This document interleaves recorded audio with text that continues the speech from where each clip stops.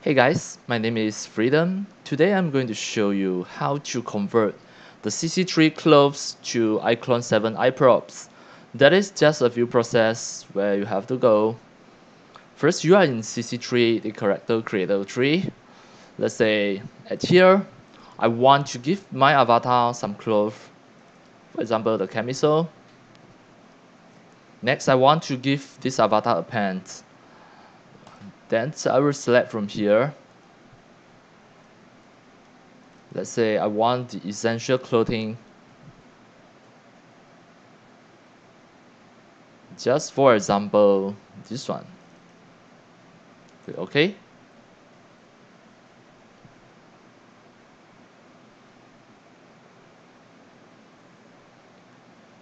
Right. Now all of this clothes, I want to turn it to become the iProp. Okay, this one is not that suitable. Give her, give her a shot. I want to turn all of this, to convert all of these clothes to be iProps. The iProps are props that can be used in iClone 7. So now you can see this avatar. First, I just need to turn it to become a T-pose. Go to the motion turn her to become T-pose and just have a look. Now, check the scene. This is a camisole. Next, you want to turn it to become the accessory. Turn it to become accessory first. Click here. The camisole is already selected. Next, you turn it to become accessory. Click convert to accessory. Then click re click bake current shape and click convert. Now, this camisole already become an accessory. Next is the bra. You also turn it to become accessory, convert to accessory, bake current shape and convert. Just one by one. Now the bra also become an accessory. Next is the low rise shorts convert to accessory, bake current shape if you want to turn all of this cloth to iProp. The last one is the underwear. Underwear is that at the bottom is inside. Click convert to accessory as well. Bake current shape and click convert. Now the whole avatar you click here, send it to iClone. And you can check in, in your iClone 7 now. It is it is sending the avatar to iClone 7. You, you just have a look and, until it finish at this moment. You check the scene. This is the avatar. Check the scene here.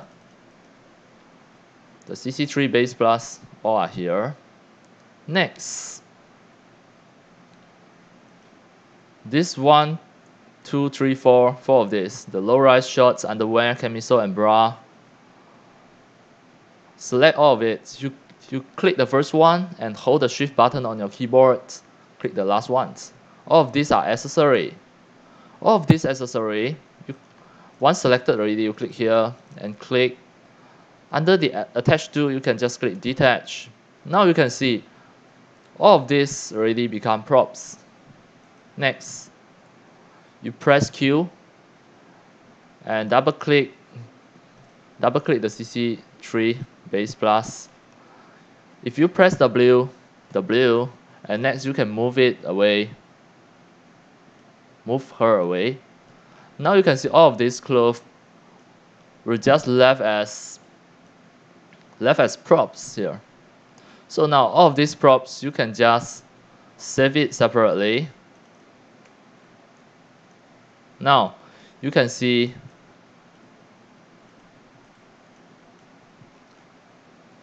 this ones I move it to the right. Here, this ones you move it to the right as well. Now you can see four items are here. Next, I'm going to save, to save it as iProp. Okay, first I press Q and, dub and double click this to select it. I go to go to the contents, click here, click custom, and click prop. Now, I can just click plus. Now it's saved as a prop prop 5 next.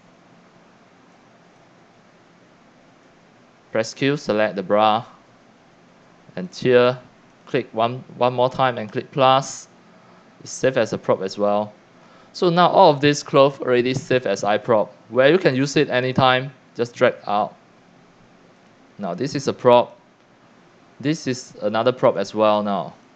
There are props and actually it, it will all follow the body shape. So in your CC3 you can just change the body shape. Let's say you click here. At the beginning you can just click currently use and reset the body shape to make sure all the cloth also reset to to the original shape if you want. It is up to you. You can set any of the shapes. Now you already successfully save it as iProp and you can use as a prop anytime alright that's all for today about how to convert the CC3 clothes, the Character Creator 3 cloth to iClone 7 iProps. And that's all for today. Thank you for watching. If you love my video tutorial, if you feel all these tutorials are very helpful to your 3D animation and game developing, you can subscribe to my YouTube channel and also turn on the mini bell and select all so that when next time I publish a new video tutorial, you receive the notification immediately. See you in my next video. Enjoy happy animation and game developing. See you.